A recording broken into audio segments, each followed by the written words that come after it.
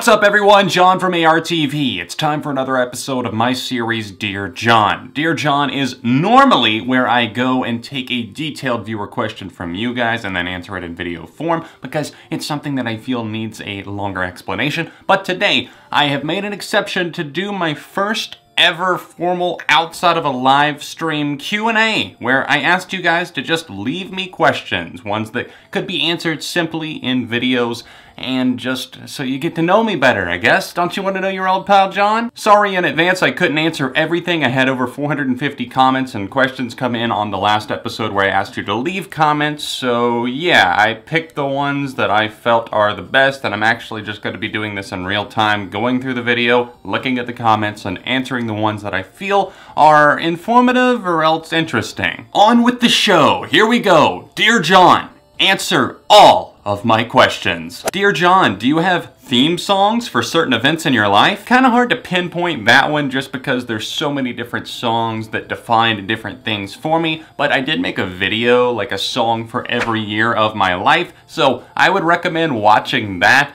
And uh, also, just in terms of general anthems, I don't know, I Just Had Sex by The Lonely Island comes to mind. Can you do a face reveal? Magic. What will it take for alternative rock to climb back up the charts and dominate like it used to? I feel like it's been dead since the late 2000s. Number one, I think it's gonna take an awakening within our culture to realize that we need something more than just the bottom of the barrel garbage that we're getting these days. It's going to take people wanting something of talent and substance but as long as we keep passing off every SoundCloud rapper that comes through and praising them as some sort of great thing, then I don't see rock making a huge comeback in the world of mainstream. I just hope it doesn't ever get to the point where it's like jazz, where jazz is still listened to, but it is such a minority that if you mentioned most jazz artists to people in general in the mainstream, they're gonna have no idea who the hell it is. I really hope that that's not rock's fate. But I think in order for it to come back big and strong, it's going to take some very interesting acts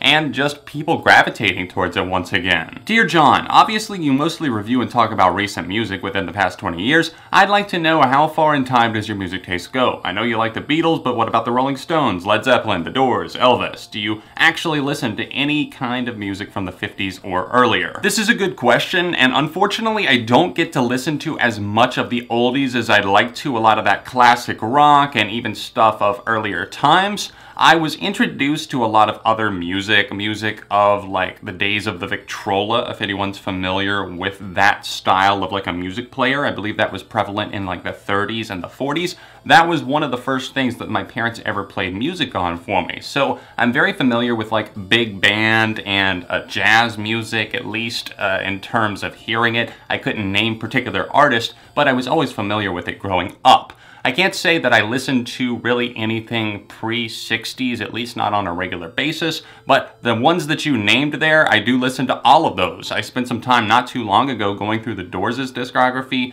Obviously, I've been through the Beatles as many times, and I'd love to someday, if I ever get the time, do a top 10 and a ranked, but that's going to take a lot of listening. But I do like a lot of classic rock. I just don't know as much as I probably should, and unfortunately, it's just because of time and listener fatigue. A lot of the times I get so tired of listening to current stuff that if I have spare time, I'm going to do anything other than listen to music. What do you think the future is for Linkin Park? Do you think they will continue as a five-piece because of the sudden death of Chester Bennington? I would love to know your opinion. There's no way that I see Linkin Park stopping now, especially with Mike Shinoda's statements that he's issued. It seems like the band is pretty strongly set in the fact that they will in some way, shape, or form continue. It might not be right away. Obviously, Mike Shinoda's doing some solo stuff, playing some solo festival shows and that sort of thing. I am excited to see what they will do in the future and how they will make Chester proud. Do you ever listen to the roots of pop punk and emo? How do you feel about Cap'n Jazz, Moss Icon, Sunny Day Real Estate, Ramones, The Queers, Descendents, etc.? Absolutely I do. I don't spend a ton of time listening to all those bands, but Cap'n Jazz, especially Sunny Day Real Estate, I really got into them. Funny story there, I used to work at a movie theater and my manager gave me their CD, their debut album, Diary.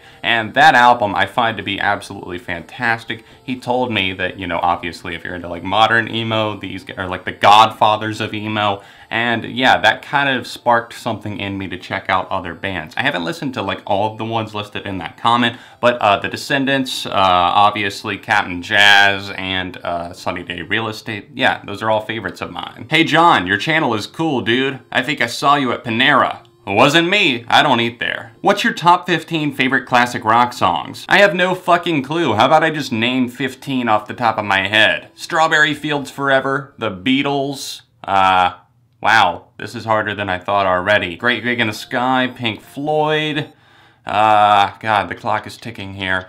Um, God, I'm glad there's not a timer on me. Oh boy. Landslide, Fleetwood Mac, Bob Dylan, Tangled Up in Blue, The Doors, Riders on the Storm. Whew, clock ticking over here. Ooh, things get intense. I have no idea how many I've even done so far. Is that 15? We're gonna say it's 15. Long comment here, but dear Jon, how do you separate your personal life from the music? How do you not let certain songs be hard to listen to due to recent or current circumstances in your life? At this point in time, I am going through one of the hardest things a teen goes through, my first relationship. Things were amazing at the start, but recently seeming to fall apart. Well, in order to answer that comment, I think that you have to say that uh, I don't necessarily just listen to it and it's okay. I mean, at this point it is, but even back in the day when I would listen to those songs when I was a teenager, when I went through my first breakup and everything like that, I would still listen to the songs because I found them therapeutic in a way. And I think that listening to music can be painful, but it's a good kind of pain because it helps you know that somebody else is there. Somebody else either went through the pain or, you know, took the pain out on somebody else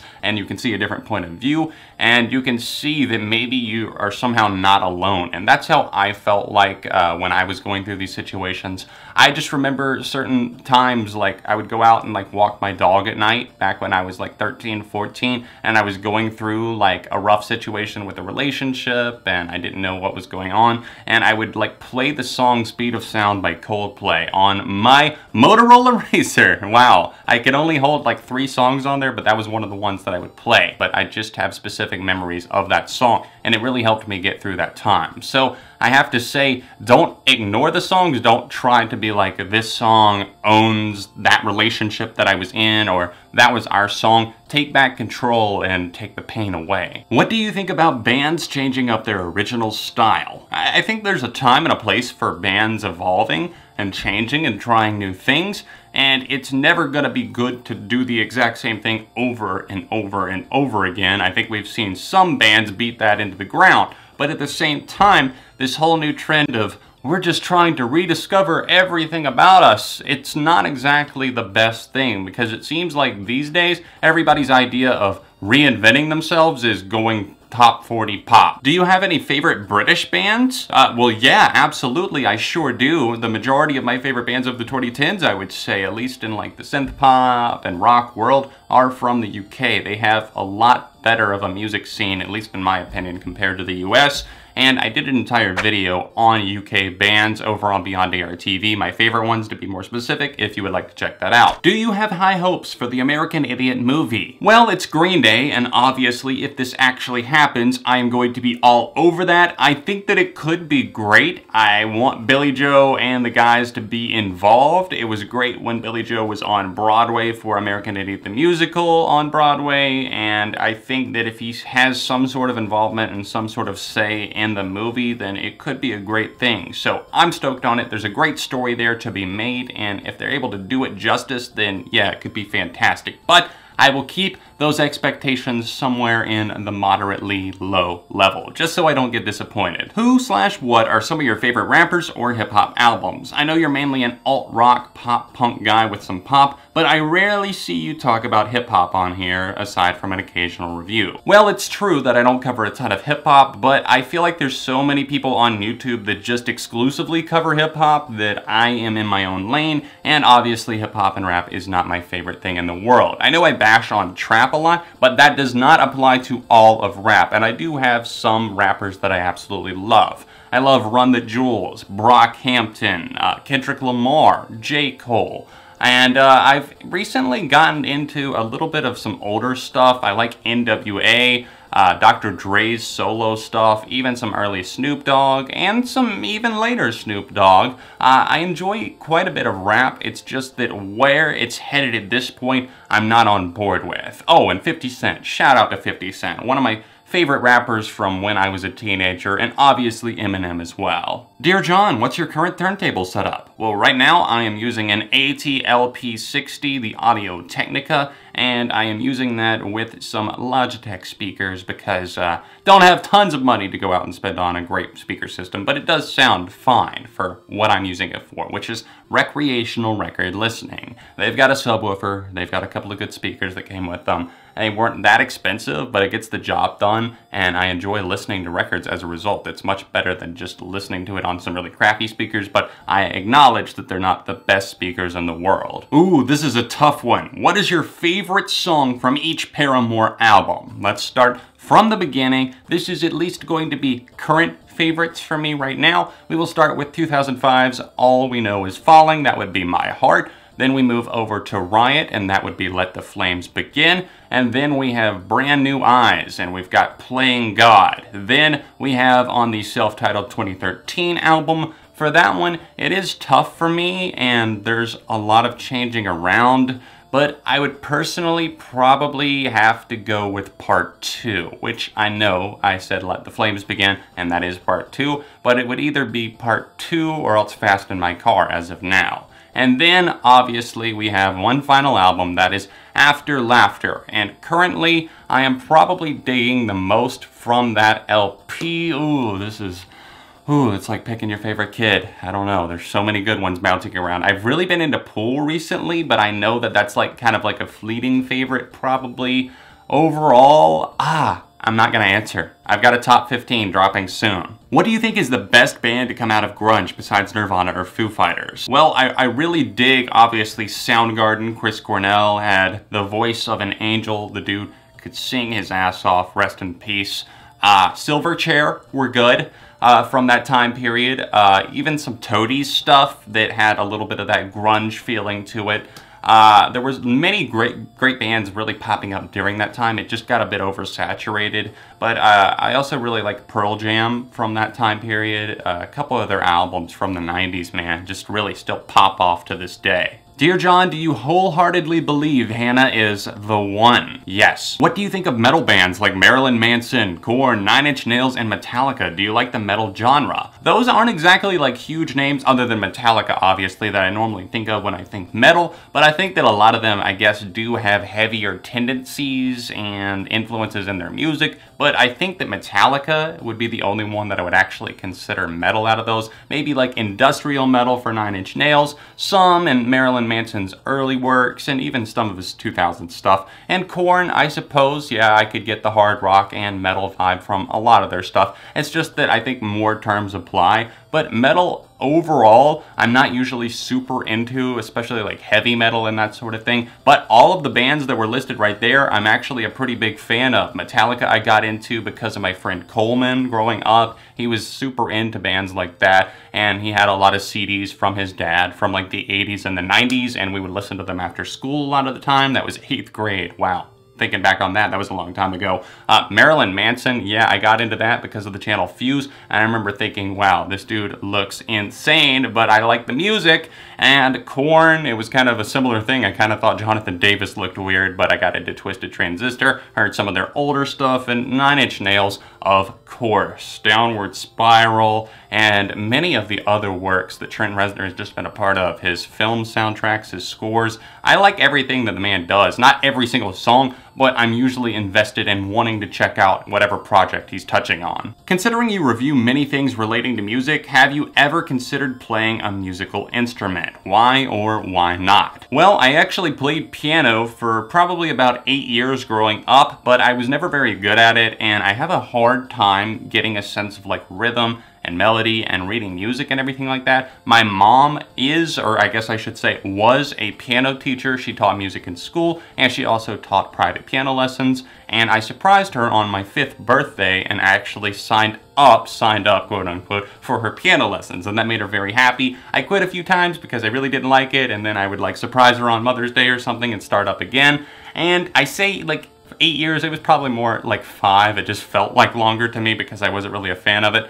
And I wanted to learn the guitar, but my parents weren't really for that, and my dad was not really wanting to buy me an electric guitar because, you know, uh, devil's music, everything like that. Not really. He didn't feel that strongly. He just didn't want to hear it in the house. He didn't want to hear drums in the house or a bass guitar, so Piano it was, and uh, piano it wasn't, because I never really kept up with it. I still own a keyboard, and I can't really play that much. I can pick up some melodies by ear, and I bought a guitar once, and then I had to take it back because I realized I don't have the money for this. As much as I would love to play the guitar, I just do not think that I have the rhythm and the patience for it. So therefore, no, I don't plan on taking up an instrument anytime soon. Why don't you review deluxe slash extended versions of albums? Because they truly care about the songs on the standard edition the most. Those are the ones that the artists and bands fight for. And these days, I think the deluxe is kind of going by the wayside, at least somewhat, because of streaming and everything like that. Bands want to have more songs so that they have more of a shot at getting more streams and getting higher on the charts and that sort of thing. So